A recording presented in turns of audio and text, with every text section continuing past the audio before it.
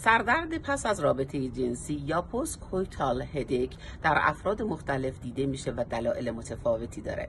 یک به خاطر اینکه فرد دچار افت قند خون میشه. دوم در افرادی که فشار خون بالایی دارن بعد از اورگاسم ضربان قلب بالا میره و فشار خون فرد افزایش پیدا می‌کنه و این موجب سردردشون میشه.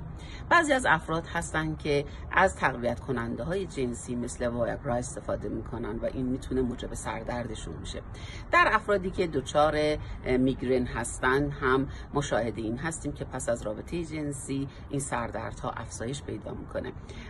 و در افراد جوان که دچار استراب و استرس میشن هم ما شاهد این سردردها هستیم. اگر که سردردتون خیلی شدید هست بهتره که به متخصص مغز و اعصاب مراجعه بکنید.